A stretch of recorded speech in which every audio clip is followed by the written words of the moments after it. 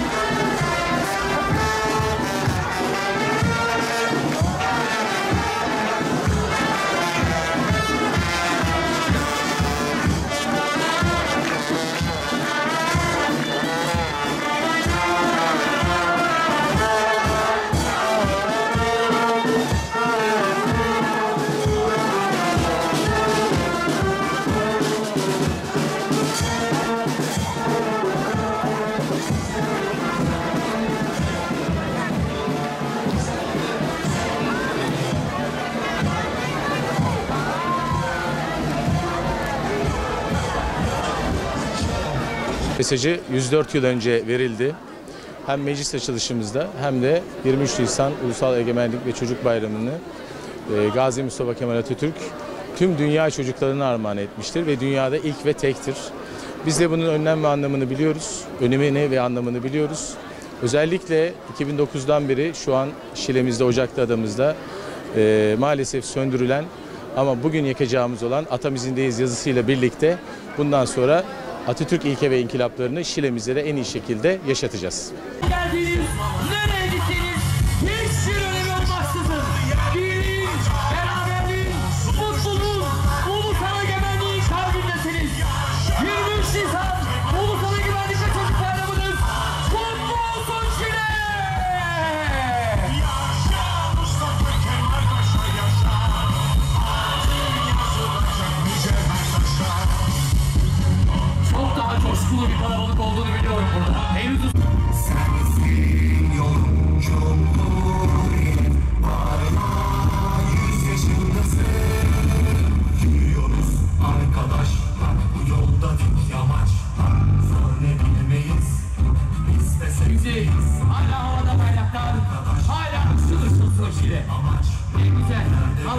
sarılırken, bir aradayken, baharda, bütün mutluluğuyla 100 yaşındaki bir cumhuriyette 104 sene önce ulusal egemenliğinin kapısını almış bir ulusta kimin nereden Bugün 23 Nisan Ulusal Egemenlik ve Çocuk Bayramı'nın 104. yılı. Ve 104. yılın coşkuyla kutlamanın mutluluğunu yaşıyoruz. Bu anlamlı günde bir arada olmaktan dolayı onur duyuyorum, gurur duyuyorum sizlerle beraber olmaktan dolayı. Gazi Mustafa Kemal Atatürk'ün bizlere armağan ettiği bu önemli günü ulusal egemenliğin sembolü olarak görüyoruz. Bugün geleceğimizin teminatı olan çocuklarımızın mutluluğu, umutlarını paylaşmak için buradayız. Çocuklar çocuklarımız ülkemizin yarınlarıdır. Onların eğitimi, sağlığı, mutluluğu bizim için en önemli celiktir. Bu nedenle çocuklarımıza güvenli ve sağlıklı bir ortam sağlamak için çalışmaya devam edeceğiz hep birlikte. 23 Nisan Ulusal Egemenlik ve Çocuk Bayramı'nı kutlarken geleceğimizin teminatı olan çocuklarımıza daha iyi bir dünya bırakmak için geleceğimizin teminatı olan çocuklarımıza daha iyi bir dünya bırakmak için çalışıyoruz ve çalışmaya devam edeceğiz. Atatürkçü çocuklar yetiştireceğiz. Cumhuriyetçi çocuklar yetiştireceğiz. Atatürk'ün ilke ve inkılaplarını bilen ve onlarla yaşayan çocuklar yetiştireceğiz. Özellikle çok değerli dostlarım, değerli hemşerilerim, bugün bizim için çok daha önemli bir güne de parantez açacağız.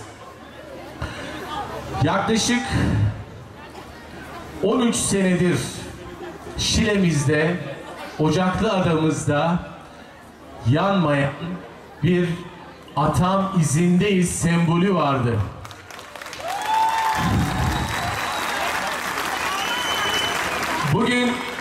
Siz kıymetli çocuklarımıza ve vatandaşlarımıza bir armağanımız var.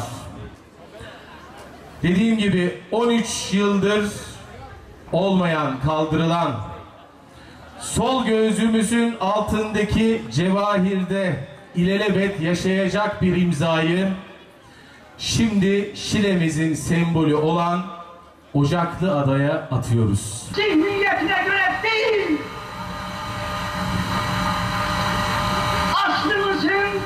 Sürat ve hareket mefhumuna göre düşünülmelidir. Geçen zamana nispetle daha çok çalışacağız.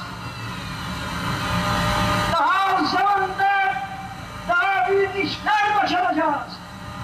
Bunda da muvaffak olacağımıza şüphem yoktur. Önümüzde evet 3 hafta sonra 19 Mayıs'ımız var. 19 Mayıs'ta daha da coşkulu, daha da sürprizli yine Gazi Mustafa Kemal Atatürk'ün özelinde çok güzel işler yapacağız. Hemen şuraya Atatürk'ümüzün büstünü koyacağız. Şimdiden sürprizi- bu sürprizi vereyim size. Ve Şile'ye girdiğiniz anda, Şile'ye girdiğiniz anda ta aşağıdan bahsediyorum. Gazi Mustafa Kemal Paşa'mız sizi karşılayacak ve bütün Şile'de Atatürk'ümüzü göreceksiniz. Yani Tanrı'nın görümcesi, yüce hazretleri yüce yaratık, yücelerin yücesi. Ee, biz de o zaman yücelerin yücesi. Bu Game of Thrones olsun, ben yücelerimizden birisi. Görkemlidir yani, muhteşem insanı. Nasıl sen, nasıl sen, Listen.